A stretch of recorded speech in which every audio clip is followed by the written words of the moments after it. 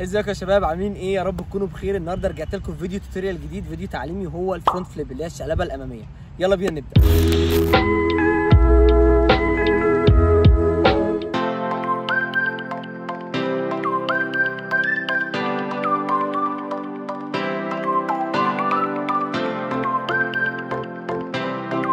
طيب دلوقتي هنقسم الحركة لثلاث أجزاء زي ما متعودين في ال tutorials اللي فاتت. أول جزء هو ال take off اللي هو الطلعة.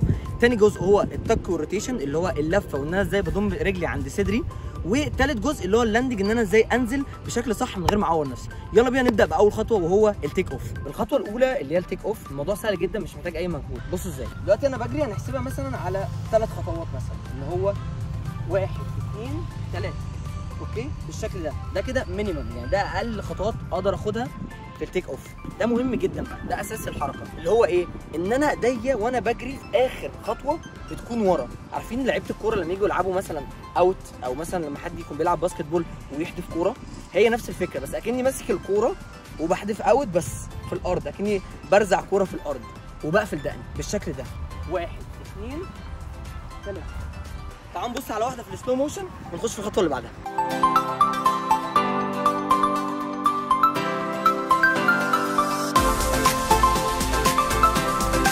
الخطوة الثانية هي ال rotation وال tuck ال rotation اللي هو اللفة وال tuck ان أنا إزاي بلم ركبتي عند صدري.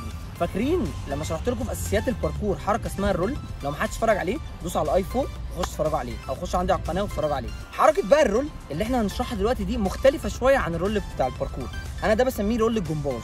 بيبقى شكله عامل إزاي؟ بيبقى لقدام. roll الباركور اللي إحنا شرحناه بيكون بالجنب بيبقى بالشكل ده. وبطلع بالشكل ده. انما ال roll بتاع الجمباز ده اللي بيأهلنا ان إحنا نعمل ال front flip اللي هي الشقلبه الأمامية بيكون من قدام بيبقى شكله عامل كده. إن أنا بحط إيديا الاثنين وبعدي دماغي ما بين إيديا بالشكل ده. Okay؟ ده roll الجمباز. ده أول خطوة في ال rotation. عملت الخطوة دي هنزود عليها حاجة بسيطة جدا وهي ال tuck اللي هو إزاي بلم ركبتي عند صدري بالشكل ده. إن أنا بعمل نفس ال roll ده أحط إيديا الاثنين ورجليا طبعا بت jump بتزق عشان أعرف ألف وبقفل دقني وبنزل قافش ركبتي بالشكل ده اللي هو كده. شفتوا إزاي؟ تعالوا نشوف واحدة في السلو موشن فهمنا الخطوة دي نعملها كتير التكرار مهم جدا نعملها ألف مرة مفيش مشكلة. وطبعا زي ما قلنا لازم يكون في مرتبة أو أي حاجة طرية أعرف أعمل عليها الكلام ده. هبتدي إن أنا بعد ما بعملها لا أنا عايز آخدها بجري أقوى. أنا دلوقتي هشرحها لكم طبعا على النجيل عشان أنا بعرف أقع أو أنا بعرف آخد الصدمة. إنما أنتوا لما تيجوا تجربوها طبعا جربوها على مرتبة زي ما قلنا أو أي حاجة طرية ونبتدي ناخدها. خلاص اتمكنا منها نخش على النجيلة. اتمكنا منها أكتر نعملها بقى خلاص على أسفلت نعملها على أي أرض صلبة مفيش مشكلة. بس أهم حاجة ناخدها بيبي ستيبس وخطوات بسيطة عشان ما حدش فينا يتعور أو يحصل له إصابة. عملت الخطوة دي اللي هو نزلت سبت ركبتي قمت. تمام. طب ما أبتدي بقى أنط فيها شوية بالشكل ده إن أنا باجي بجري شوية وأبتدي وأطلع بالشكل ده. شفتوا عملتها إزاي؟ ببتدي إن أنا آخدها زي رول من غير ما أحط إيديا اللي هو بس إيه بضرب بإيديا وأمسك التك وألف على ظهري عادي بالشكل ده. بص ما بحطش إيدي على الأرض. ليه؟ شفت شكلها عامل إزاي؟ سلس سموث جدا وما فيهاش أي تعوير أو أي حاجة. وطبعا ده كمان على مرتبة الموضوع بيبقى أحسن بكتير. خلاص اتمكنت من دي ابتدي أنط فيها أكتر. أنزل عادي. ممكن أعملها وألف وأنزل قاعد اللي هم زي ما بيقولوا إيه مقرفص بالشكل ده كده مثلا. تعالوا برده نشوف واحدة هنط فيها أعلى سنة وبرده أحاول أنزل على رجليا من غير ما أذي نفسي بالشكل ده. اهو وقعت. عادي مفيش مشكلة. شفت نزلت إزاي؟ أنا دي كده نزلتها على نجيلة وما حصليش اي حاجة. مش حاسس بأي وجع ولا أي حاجة. تخيلوا بقى أنتوا كمان عملتوها على مرتبة فالموضوع يبقى سهل. أهم حاجة وأنا بلف ما ننساش نقفل دقننا. بنخش جوه عشان يخلي اللفة سريعة بنخش جوه. بعد كده بنبتدي هنديها باور أكتر بالشكل ده مثلا. وأروح مثلا إيه نازل واقع كده. عادي ابتدي أجرب. تكرار تكرار لحد ما أتمكن منها. شوية وأبتدي إيه؟ أنا داخل لازم قلت اشد كل عضلات جسمي لحد ما ابتدي اتمكن منها وافضل ماسك التك عشان رجليا ما تتعورش لحد لما اقع. تعالوا نشوف برده واحدة ثانية وأنا باجي اخدها مثلا بقى بجري أقوى. إن أنا أهو. بتتعمل من ورا. إيه ده؟ ده أنا جبتها فاهمين؟ هي بتمشي كده إن أنتوا بتقعدوا تعملوها كتير لحد ما خلاص هبتدي أشد جسمي. يبقى زي ما قلنا هجري جرية جامدة ايديا من ورا. تحدف لجامد تيجي من ورا. دقني مقفولة. عينيا بتبص تحت عينيا ما تبصش قدام.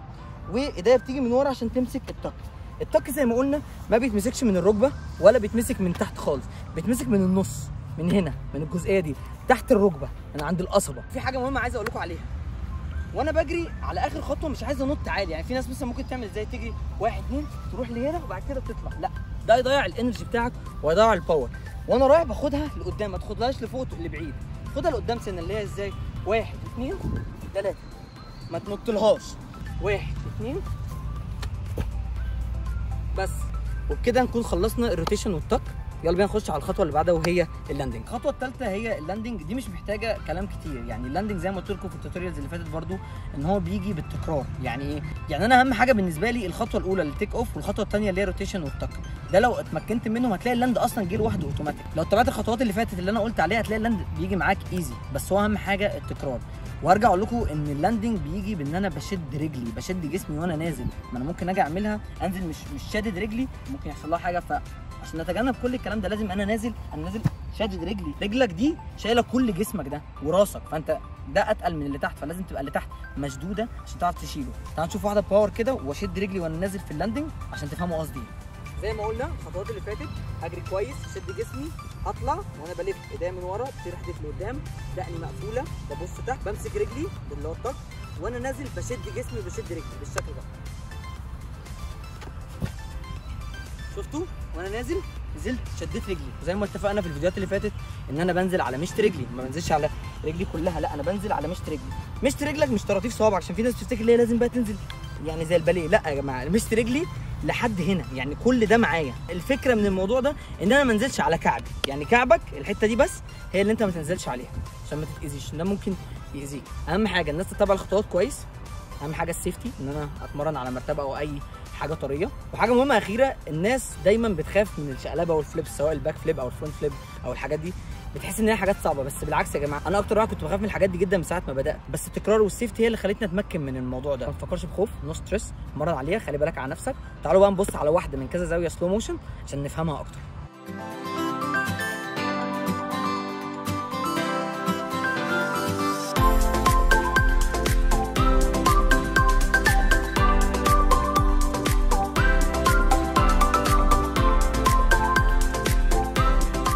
بس كده نكون خلصنا حركة ال front flip الشقلبة الأمامية. يا رب يكون الفيديو عجبكم. يا ريت لو عجبكم ما تنسوش تعملوا like و comment و share تعملوا subscribe للقناة تشتركوا في القناة وتفعلوا الجرس عشان يجيلكم كل جديد.